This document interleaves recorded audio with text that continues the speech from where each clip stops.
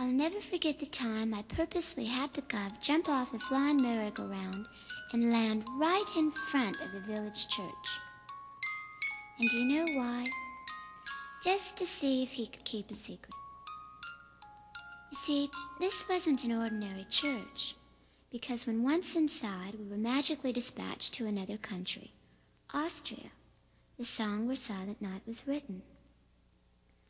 Story has it that on Christmas Eve, December 24th, 1818, the Oberndorf village church organ had broken down. So Father Mohr, the priest of the church, felt a need to pray for some sort of replacement. Santa liked the prayer so much, he had the dream weaver rush a dream to his friend Franz Gruber, who was the son of a poor linen weaver. Franz was so inspired by all this that within a few short hours he wrote a melody to Father Mohr's beautiful words. At the midnight Christ Mass, the two of them, accompanied by a guitar, got together and sang this masterpiece for the very first time.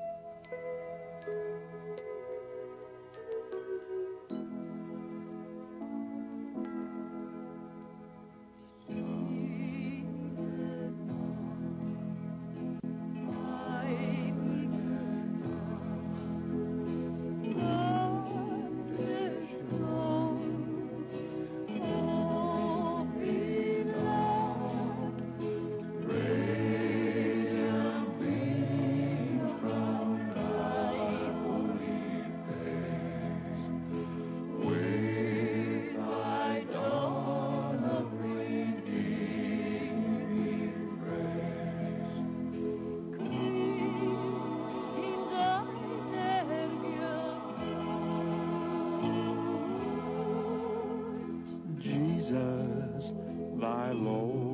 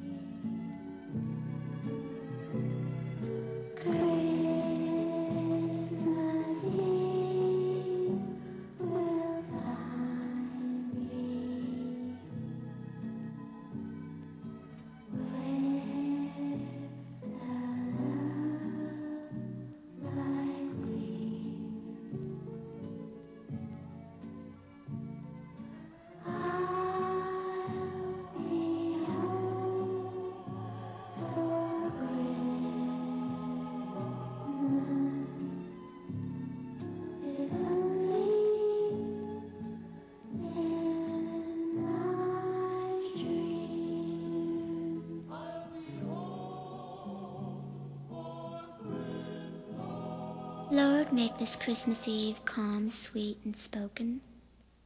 With thy tenderest blessings, may a Christmas dream be woven.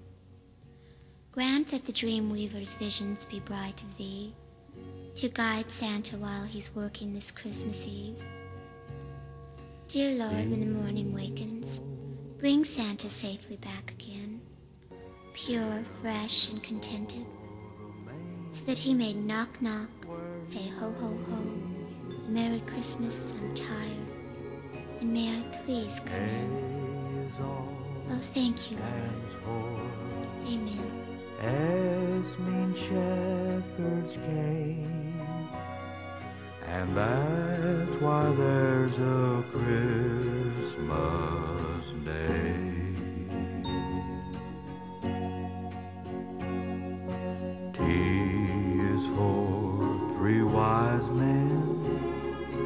they who travel far. M is for the manger where he lay. A is all he stands for. as mean shepherds came, and that's why there's a Christmas day. And that's why there's a Christmas day.